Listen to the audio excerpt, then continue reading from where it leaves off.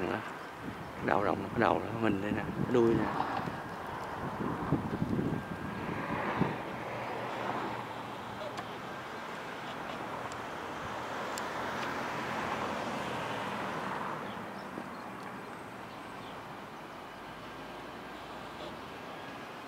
Anh hùng chiến sĩ trận vong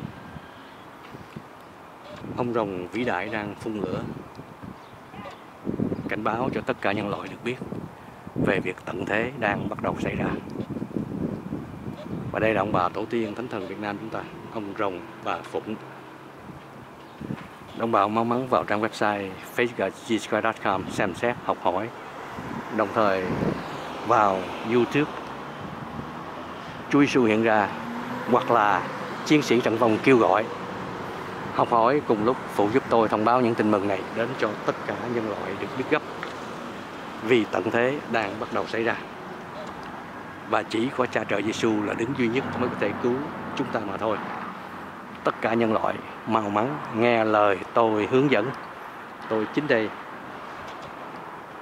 tiên tri của cha trời thượng đế toàn năng. Y sư thánh giống phu động thiên vương tái thế, tôi chính đây minh vương việt nam. Vì thế đồng bào mau mắn nghe lời tôi hướng dẫn.